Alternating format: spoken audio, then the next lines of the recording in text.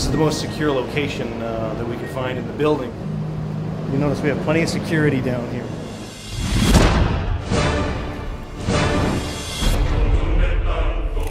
There's a degree of excitement around electric vehicles we hadn't seen before.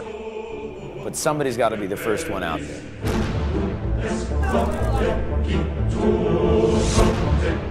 We need a lot of people trying a lot of different things, and then we see what emerges. It's a race. It's a total race. You know, until we see every car on the road being electric, we will not stop. Oh, Elon's going to lose his shirt. Elon's going to get crushed. God damn it, we got to get these cars out. Things keep coming along from people outside the car business, they all fall on their butts. You didn't get the message. Give us the cars that we want.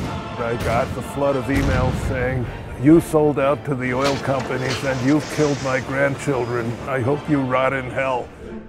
They have based their whole company strategy on it. If it fails, there might not be a Nissan. You need to predict the future, prepare for it. If it happens, we'll be ready.